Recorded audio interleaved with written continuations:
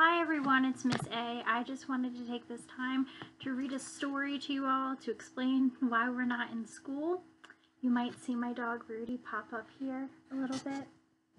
He's joining us for story time.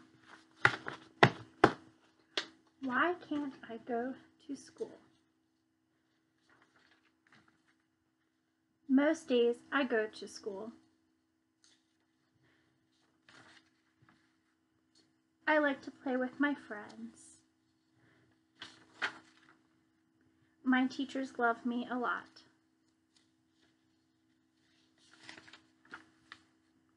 I can't go to school right now.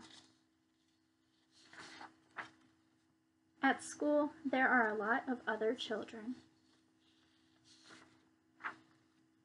When a lot of children are together, they sometimes share their sneezes and coughs.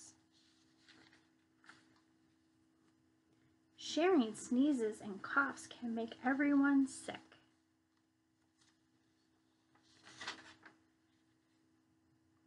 I am staying home until all my friends and my teachers are healthy. When everyone is healthy, we can go back to school. My teachers love me and they are thinking of me.